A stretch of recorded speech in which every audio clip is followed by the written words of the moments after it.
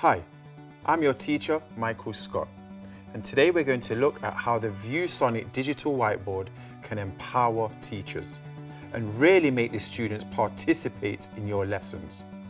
I'm going to show you a few tips on how to make your lessons more engaging, more interactive and accessible wherever you teach.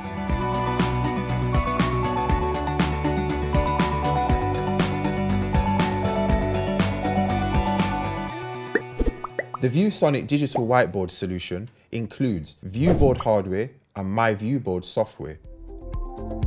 The ViewSonic digital whiteboard lets students share documents, images and videos, as well as take pop quizzes. In our second video, I showed you how teachers can present the lesson from a cloud storage system and broadcast to all connected devices and displays. Now let's go further to show how students can interact with the lesson. In this scenario, I'm going to show you how teachers can ask a group of students to give feedback on their ideas by sharing the related document or multimedia. Let's activate MyViewBoard software and wait for students to share their findings. Students can throw an image to the teacher's canvas, no matter what device they are on, it works with tablets, laptops or phones.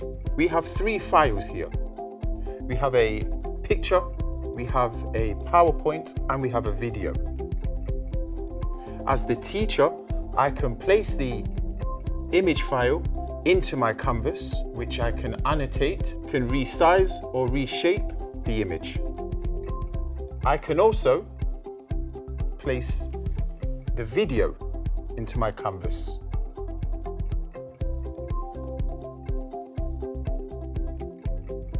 for the students to watch. I have also been sent a PowerPoint file. The MyViewBoard software allows me to open that PowerPoint. I can edit, highlight and annotate the important parts.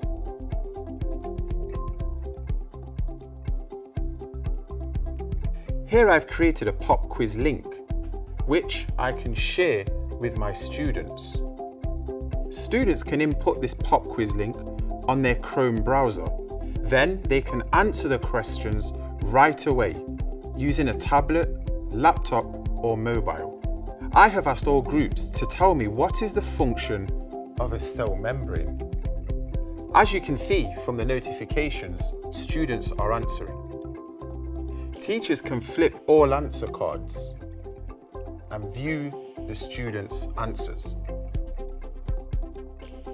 The ViewSonic digital whiteboard can also support distance learning and schools from across the world can join collaborative projects.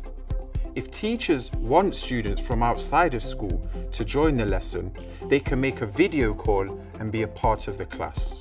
To do this, just activate the integrated video call software.